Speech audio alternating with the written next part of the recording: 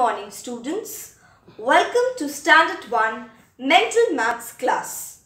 Students, tell me, do you all love to celebrate festivals? Yes, I'm sure you all must be fond of it, isn't it students? Okay students, now look here. What is this students? Yes, this is a bell. Now students, can you all name any festival in which we decorate our house with bells? Yes, it is Christmas. Very good. Now students, look here. What is this? Yes, this is a card. Can you all see? This card is for whom? Yes, this card is for a teacher. And when can you give this card to your teacher? You can give it on Teacher's Day, isn't it? Yes. What can you see in this picture, students? Yes, there's a little boy and a girl. So, these children can be gifted something or we love children on a special day, isn't it? What is that day called students? That day is called Children's Day. So, in today's class, we are going to study about some of the important dates of the year. Look here students, important dates. First of all, you should know what are important dates. Students, there are certain days which we celebrate on the same date every year. The date does not change. So, some of these days are called the important days of the year. Now, let us see some of the important days. Number 1. New Year. New Year is celebrated on 1st January. Republic Day is celebrated on 26th January. Number 3. Don Bosco Day. Don Bosco Day is celebrated on 31st January. Number 4. Earth Day. Earth Day is celebrated on 22nd of April. Number 5. Labour's Day. Labour's Day is celebrated on 1st of May. Let us move on to the next topic that is follow the pattern. In this students, two numbers are given and you have to understand the pattern between the two numbers. That is the difference. Is it the difference of 1, 2 or by 10? And then after understanding the pattern, you have to continue writing the other numbers. Students, let us see some questions related to follow the pattern. Number 1. 100, 200. Then 3 dashes are given. So, what can you find here students? After 100, it is written 200. So, the pattern being followed here is a gap of 100. So, if after 100, 200, then what will be here? It will be 300 then 400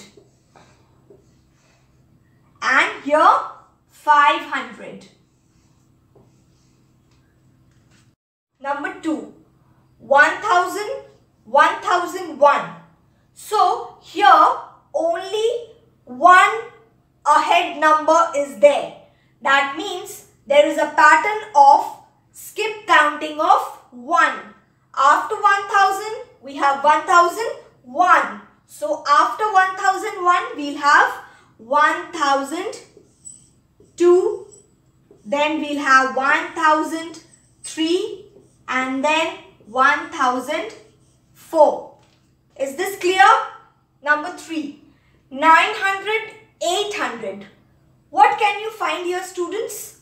There is a difference of 100 but it is backward counting. After 900, it is 800. So you have to move backward. 900, 800, then we'll have 700, 600 and 500.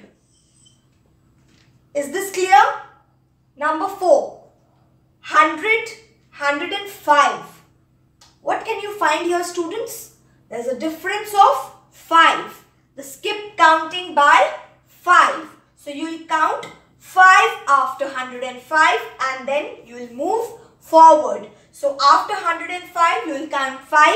So 106, 107, 108, 109, 110. So here you will write 110. 110 then it will be 115 and then 120. Is this clear students? Number 5. 2010, 2011. Here there is only a difference of one number. We are just moving forward by one number. So after 2010, if it is 2011, then after that it will be 2012, then 2013 and then 2014. Let us move to the next topic that is expanded form. Students, in expanded form, you have to expand the number. That means you have to separate the digits and add their place values to it. Now students, let us see some questions. Write in expanded form. You have to expand this number, 162. So how will do this students? This is ones place, this is tens place and this is hundreds place. So we'll add two zeros to hundreds place. Then we'll put a plus sign. Then to tens place we'll add one zero and to ones place we'll add no zeros. Clear? Number two. 1429. So this is ones place, this is tens, this is hundreds and this is thousands. So, to thousands place, we'll add three zeros after writing the first digit. Then, we'll put a plus sign. Then the second digit, 4. Then two zeros to hundreds place. Then we'll write 2. And we'll add one zero to tens place. And at last, the number 9. Which will have no zeros because it is ones place. Number 3. 2480. This is ones, tens, hundreds and thousands. So similarly we'll do the same way. We'll write 2 then we'll add 3 zeros to thousands place.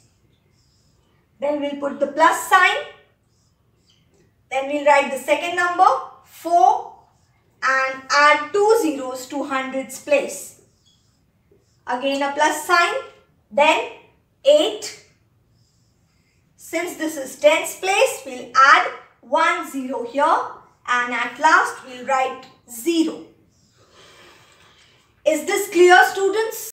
The next topic for today is short form. Short form is just the opposite of expanded form students. In this, the expanded form will be given in the question. You just have to write the short form. Now students, let us see some questions. Write in short form. Number 1. 100 plus 20 plus 3. Here, what you have to do? You'll write the short form. How? You'll just pick the first digit. 1, 2, 3. You'll write 123. Clear? Number 2.